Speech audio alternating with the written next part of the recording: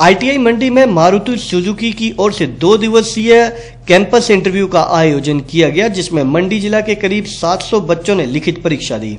जिनमें से तीन सौ सत्तावन परीक्षार्थी उत्तीर्ण हुए। मारुति सुजुकी की ओर से 18 से 21 वर्ष के युवाओं को मारुति के गुड़गांव व मनेसर स्थित कारखानों के लिए भर्ती किया जा रहा है। दसवीं एवं जमा दो पास युवाओं को कंपनी की ओर से अपने कारखाने में प्रशिक्षण दिया जाएगा। इस दौरान उन्हें ग्यारह हज़ार पाँच सौ रूपए मासिक वेतन के अलावा एक समय का भोजन और दो टाइम की चाय के अलावा रहने और ट्रांसपोर्टेशन की सुविधा भी प्रदान की जाएगी।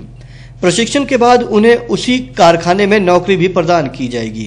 कंपनी के जीएम एल के गुप्ता और पारस ने लिखित परीक्षा में उत्तीर्ण हुए छात्रों का पर्सनल इंटरव्यू लिया। आईटीआई मंडी के प्लेसमेंट अधिकारी दिनेश कुमार ने बताया कि इस बार मारुति सुजुकी की इस साक्षात्कार के लिए युवाओं का रुझान पिछले साल की अपेक्षा बढ़ा है। उन्होंने बताया कि तीन मई को लिखित परीक्षा में 700 युवाओं ने भाग लिया था, जिनमें से तीन सौ सत्तावन उत्तीर्ण हुए हैं। जिनका पर्सनल इंटरव्यू लिया गया। उन्होंने बताया कि युवाओं की संख्या अधिक होने की वजह से साक्षात्कार अगले दिन भी जारी रहेगा। उन्होंने बताया कि मारुति सुजुकी कंपनी में युवाओं का भविष्य सुरक्षित है और उन्हें कंपनी के नियम अनुसार वेतन और सुविधाएँ प्रदान की जाएँगी।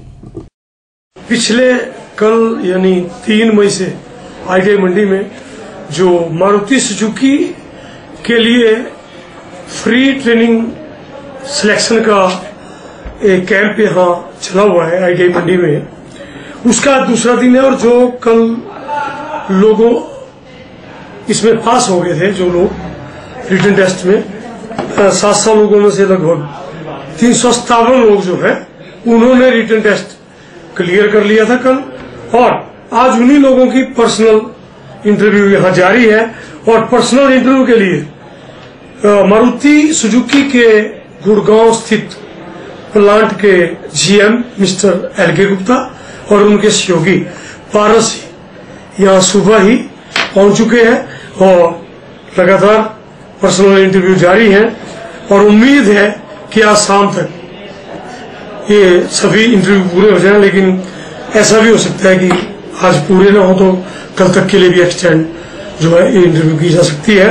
और बहुत ही बढ़िया जो है इसका रिस्पांस हमें मिला है अब की बार इस जो ट्रेनिंग कैम्प है फ्री ट्रेनिंग कैम्प और मैं समझता हूँ होना भी चाहिए इसके लिए ऐसा रिस्पॉन्स क्योंकि इसमें बच्चों का जो विषय है, बहुत सेफ़ है उज्जवल है और सिक्योर है।